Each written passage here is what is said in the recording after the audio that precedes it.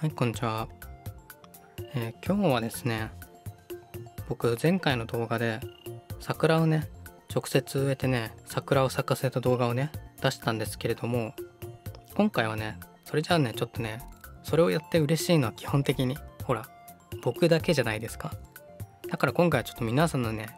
役に立つような情報をちょっとお教えしたいなと思いまして、またね、桜に関する動画を撮っております。それで今回なんですけど桜をねガーベラから咲かせてきたよっていう動画となっております。これね公式からのお知らせで一番上にあるやつでタップをしますと少し早めのお花見はどうですかとまずありますね、まあ、だんだん暖かくなりと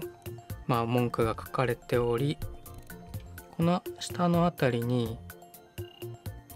ビッグフラワー予報っていうのがあるんですよ。そこにね3月中は普通の白赤黄色青の花びらで花植えをしていると稀にパンジー梅桜の花が咲くって書いてあるんですよね。ここの上にあるこのいわゆる普通の花。これがいわゆる普通の花って言われてるまあガーベラなんですけどこれを植えることでね梅梅じゃないや。まあ梅も狙えるか。梅やね桜を入手することが可能となっております。それで今回今までと大きく違うのはここにある赤い花びら。赤い花びらを使っても桜が咲く可能性があるんですよ。今回はねそのいわゆる普通の花だったらどの色のね花を使っても、まあ、桜が咲く可能性があるって言ってるんですけれども個人的なおすすめとしてはねやっぱりね体感ですけど白い花をね植えた方がいいです。それはね今回今後の話のねメインとなってきますね。この例えばこのここにある普通の花これらをね今植えると必ずね表示がハテナハテナハテナみたいな表示になるんですよ。でこのハテナハテナハテナっていうのは白い花が咲きそうな時に出てくる表示なんですよね、まあ仮にその少しでも白い花が咲く可能性がある場合だったらこの表示がねハテナハテナハテナになります。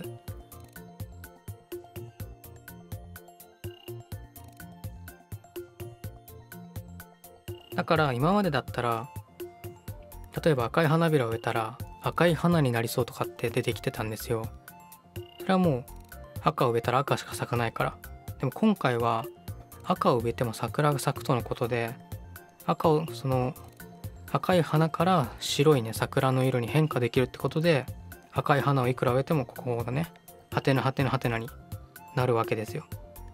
つまりこれハテナハテナハテナにさえなっていれば桜のチャンスがねあるって話なんですよね。ちなみにですけど僕がねその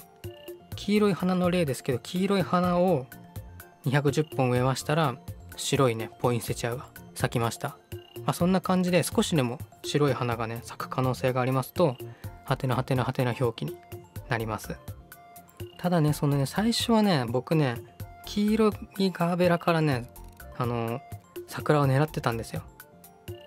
ただねうんこれもうねちょっと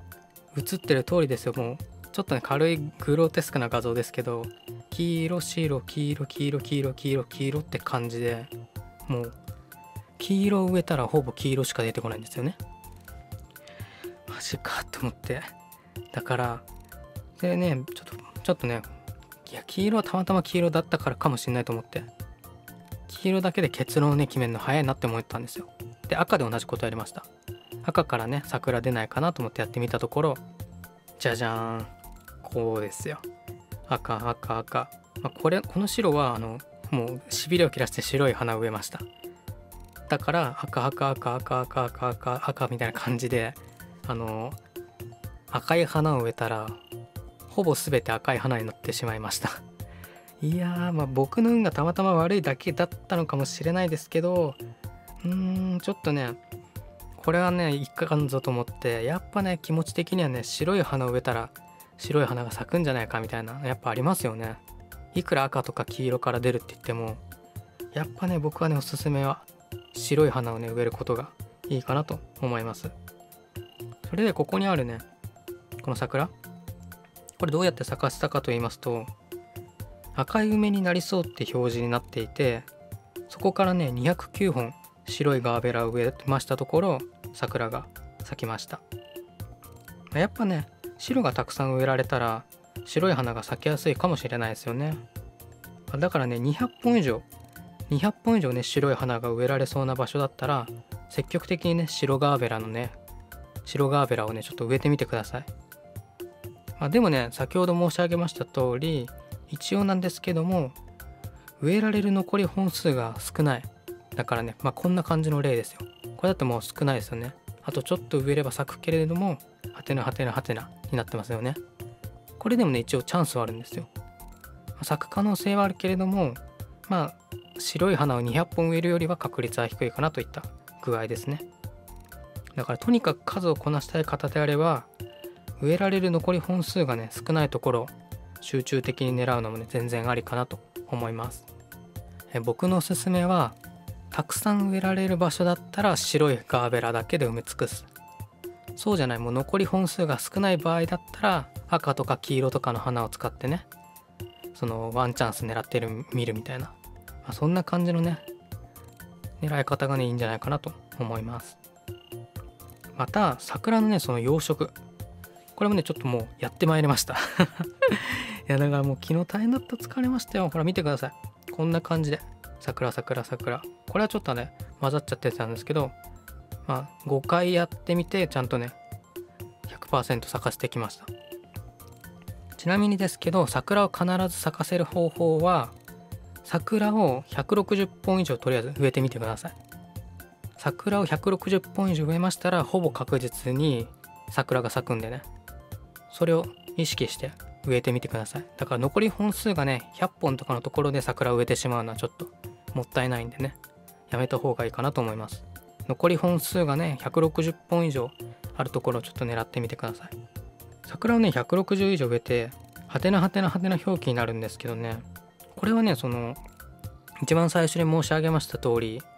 白い花から咲くからだと思ってます。はてなはてなはてなになる条件っていうのは少しでも白い花が咲く可能性がある場合にのみ出てくるんですよ。白い花が咲く可能性が全くないんだったら必ずね赤い花が咲きそうとかね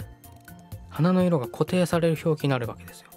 今回の桜なんですけどちょっと特殊でして今までの花とは違って一色かつ色が白のみなんですよ。結局ねその桜確定でね植えるようなレシピをやるときに必ず白い花が咲くわけですよね。だから白い花が咲くからこれがハテナハテナハテナになるんじゃないかなと思っております。